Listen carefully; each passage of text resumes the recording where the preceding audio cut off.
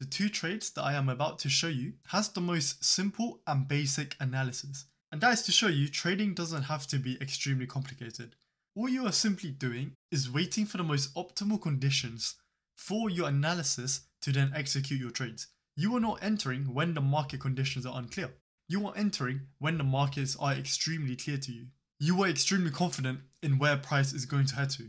So, if you look here, what was the weekly currently telling you? This is my higher time frame.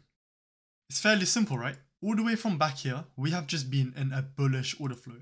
There are no signs of a complete market reversal yet. If this isn't clear to you, jump onto the monthly, jump onto the higher time frame. You can see that the bearish price action, they were simply retracements, right? On the weekly, yes, they gave you a market structure breaks to the downside, but look at the monthly. Your higher time frame monthly direction is clearly bullish. So your overall direction on the weekly still remains bullish even though it's giving you a market structure break or market structure shift to the downside. Unless this market structure shift signifies a complete reversal on your monthly time frame, then I am still looking for bullish price action on the higher time frame. And I know that this bearish market structure break on the weekly is simply just a retracement on your monthly time frame. As you can see here, that is exactly what you get there. All it simply does is come down into a discount array on your monthly time frame and then it expands higher, right? So that is if you wasn't so clear on where the weekly bullish order flow is showing you. Again, price is fractal. Whatever time frame you are on and it is not clear as to what direction it is currently heading in, jump up. Look at the larger time frame. So if you look here, weekly we had this market structure shift and from then on discount arrays were constantly being respected, right? Premium arrays constantly being disrespected. So when price retraces into discount arrays, it is accumulating more long positions to then pair up their long positions with the existing shorts above here to exit out for take profit. It's as simple as that. Internal to external range liquidity or rebalancing old efficiencies and seeking new liquidity. They both mean the same thing. That is simply how price moves. So from here all the way to here, that was the same thing that happened. You had extremely deeper retracements, but you also had minor retracements coming into internal range liquidity and then taking out external range liquidity. Again, respecting discount arrays and disrespecting premium arrays. So the fact that from here to here, we were still bullish, that means going into this current price action, I would still be favoring for longs. Of course, when price prints you bearish candles, supported by a number of bearish candles, that is where you could anticipate for a possible retracement. And here, on the lower time frames, this segment in price, you wouldn't necessarily be favoring longs. And instead, you will be looking for shorts into potential discount arrays where you can anticipate for price to realign bullish from and continue higher because your overall order flow is still bullish, right? These major bearish candles over here did not signify a complete market reversal. Even though, again, you had a weekly bearish market structure break to the downside, on a monthly, that was just, you know, a pretty minor bearish candle. Hence why when price came down into this bullish order block, this was where I started to favor longs again. So, dropping down onto the daily. This was what you had here. You had this minor swing low. Price comes into that minor swing low and look at how that daily candle closes. It closes with an extremely large bottom wick. That is showing weakness in price continuing lower. And this is where aggressive sellers are being absorbed by passive buyers. Once the aggressive sellers have been absorbed by passive buyers, this is where aggressive buyers are stepping in, overpowering aggressive sellers towards the end of this candle's lifespan and having a significant bottom wick as its closure. That is essentially what has happened, right? If you go down to the hourly, you can see here it becomes much more clear, especially after you had this market structure shift to the upside, right? So the hourly is now bullish and your daily is showing weakness in price after sweeping this swing low. If you had a full body closure past that swing low, then that would be a different story. You would anticipate for this extreme swing low to get taken out and to complete the market maker sell model. But remember, market maker models don't necessarily get completed if it is against the higher time frame direction. And in our case, the higher time frame direction is of course bullish.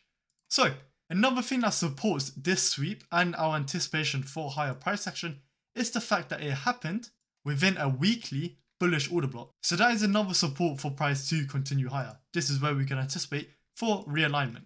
Now, if you play the candles out to the day's trade, you can see that you had the respect of a discount array and disrespect of a premium array. Here, you had this volume imbalance. And here, you have a rejection block.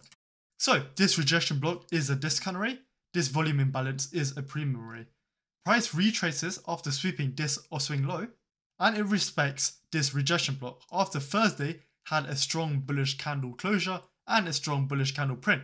This bullish closure closed past this premium array, so that is your first sign that we're possibly getting a market reversal.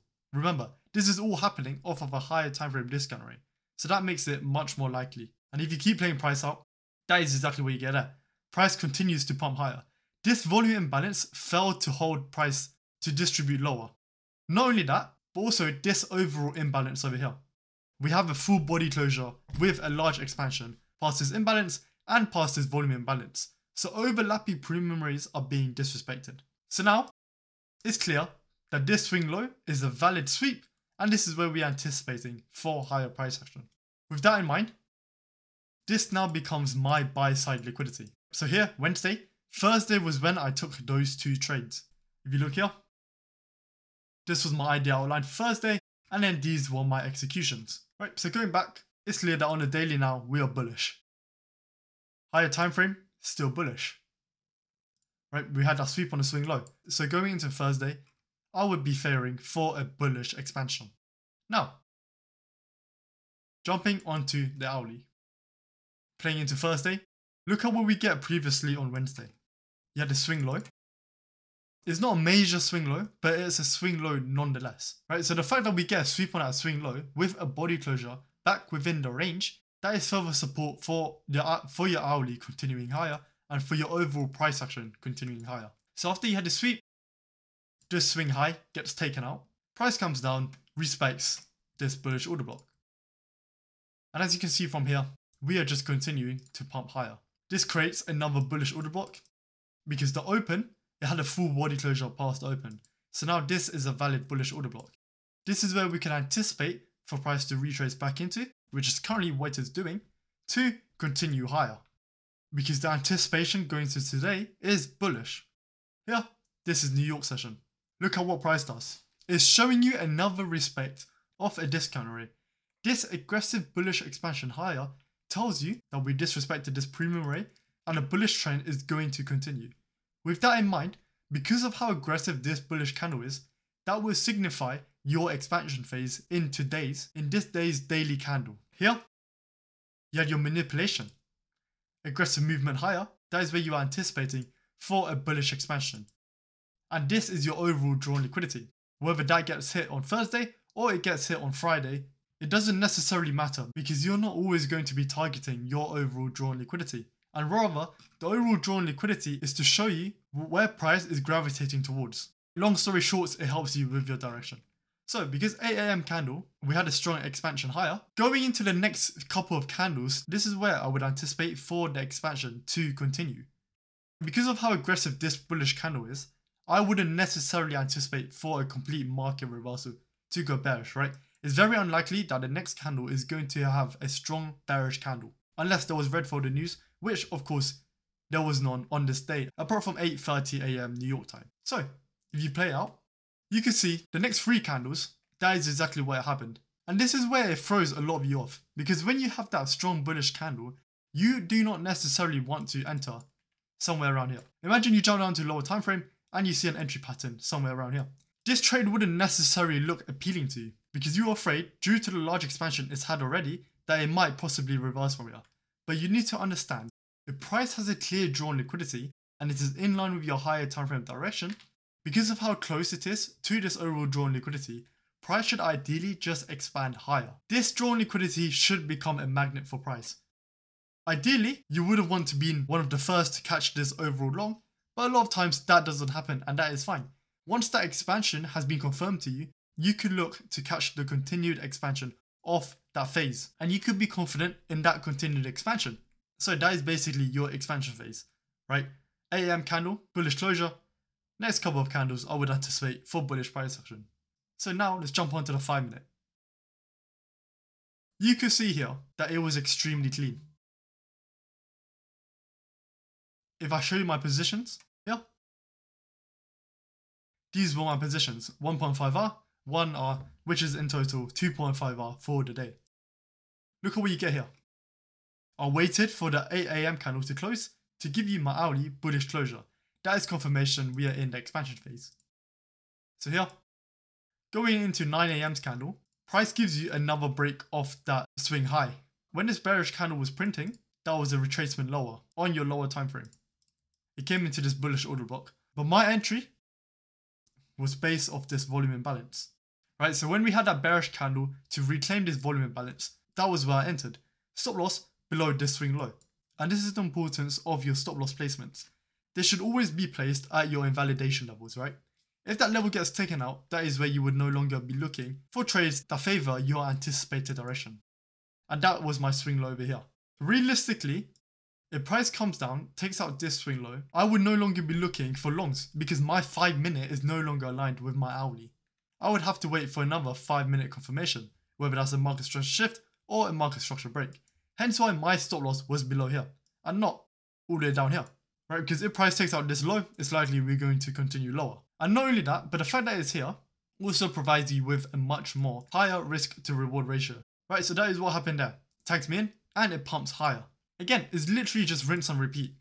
Now that we're in the expansion phase, it's extremely easy to capitalize off the expansion phase on the lower time frame because the expansion phase you're going to just get a number of bullish candles print.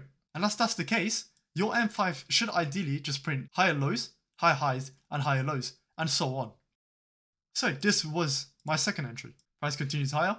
Once price retraces with these two bearish candles into this imbalance over here, that was my second entry.